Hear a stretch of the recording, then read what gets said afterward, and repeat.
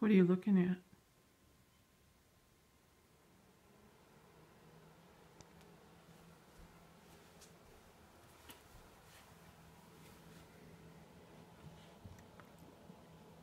Hmm. That was up next to the garage yesterday before the big wind started. It was around the corner there,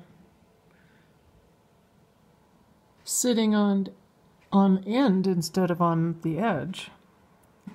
So our 50 and 60 mile an hour gusty winds last night picked that thing up and rolled it all the way down here.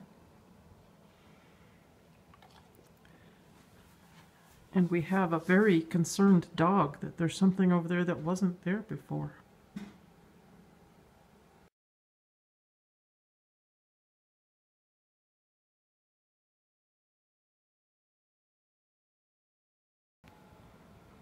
Now he gets to go see it. He's not sure he wants to go up there.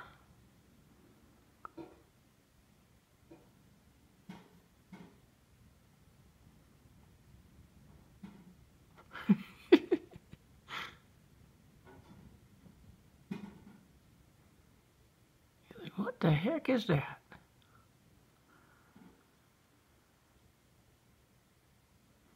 He doesn't want anything to do with it.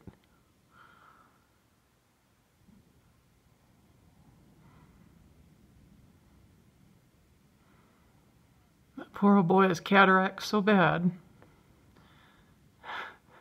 He's like, oh, okay. What?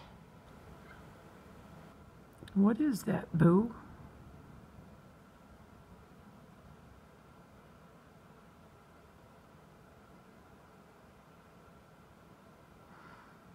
You used to be such a big old brave bear dog, and look at you now.